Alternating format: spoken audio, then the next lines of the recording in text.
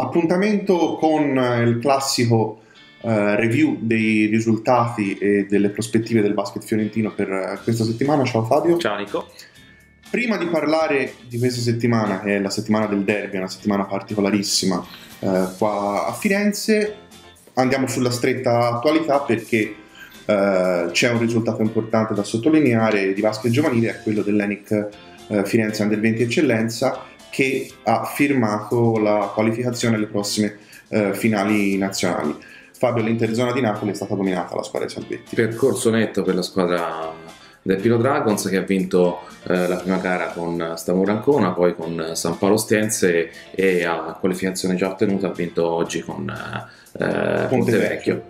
È un bel, bel risultato negli ultimi cinque anni comunque Uh, il Pino Dragons ci ha insomma, un po' abituato a arrivare sempre negli atti conclusivi delle, delle manifestazioni giovanili, sicuramente questo uh, obiettivo raggiunto delle finali nazionali Under 20 Eccellenza è un, uh, è un bel traguardo perché comunque il campionato giovanile, l'ultimo campionato giovanile prima dello sbocco sul senior, eh, la, l'attività di eccellenza, quindi vedremo anche a Roseto uh, che cosa riuscirà a fare la squadra uh, di Salvetti. Per il momento complimenti a Lenin. Chiusa la parentesi sul uh, giovanile, entriamo nella settimana del, del, del, derby. Il derby. Onestamente Fabio non c'entriamo benissimo dopo i risultati del weekend. No, dopo un mercoledì da Leoni c'è stato insomma, un weekend eh, con solo scuri e niente chiari perché hanno perso sia Pino Dragons che Fiorentino.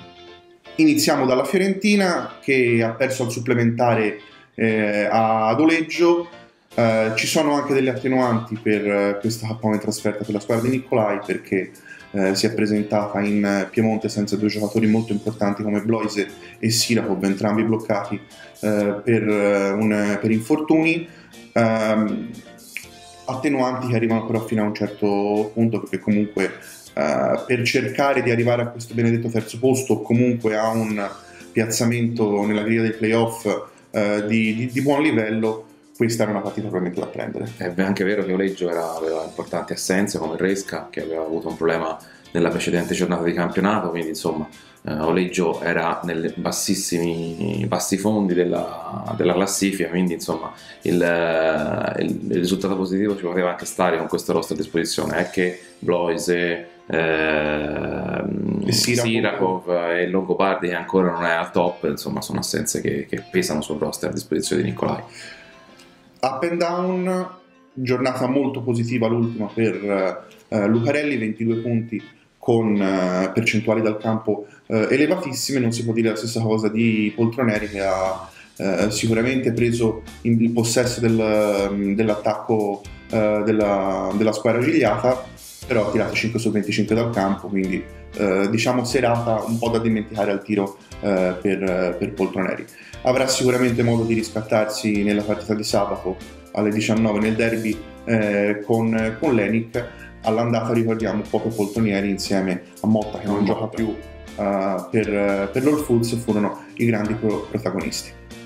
Sconfitta anche per uh, l'Enic nell'ultimo, nell'ultimo turno di campionato è un andamento un po' ondivago quello della, della squadra di, di, Salvetti perché nelle ultime giornate vince, perde in casa e vince in trasferta uh, e questo insomma è un po', un po' un controtendenza con quello che è stato il 2017 fino a questo momento del, del Pino. Sconfitta in casa contro San Miniato, anche qui gli acciacchi sono stati importanti perché c'erano due giocatori del, dell'Eni che non erano certo in perfette condizioni. Sì, insieme a Magini che avevamo anticipato nella settimana precedente e che aveva un problema alla caviglia, anche Calmarini all'ultimo ha avuto eh, problemi e quindi insomma due giocatori fondamentali per, per Salvetti che, che, non erano al top. Poi un gioco fisico estremamente atletico mh, da sostenere contro una squadra come San Miniato hanno fatto la differenza. È molto difficile peraltro giocare con San Miniato che a mio avviso in questo girone A di Serie B